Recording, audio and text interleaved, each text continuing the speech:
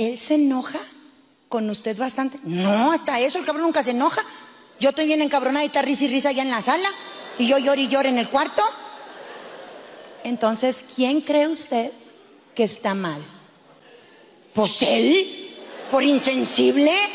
¿A poco no le va, no le va a remorder la conciencia dejarme llorando?